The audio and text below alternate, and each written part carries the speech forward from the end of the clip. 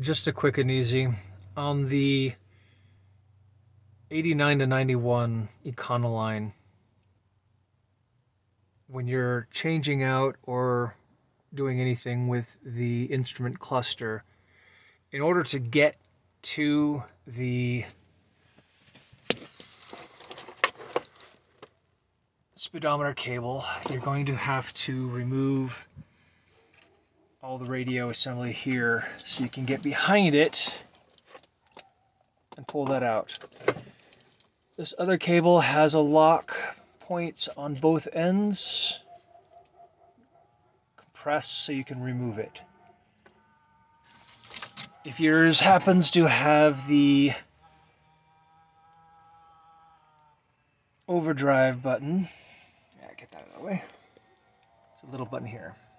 So something that's not shown in the books that I've looked at or any videos. Makes life a little bit more easy.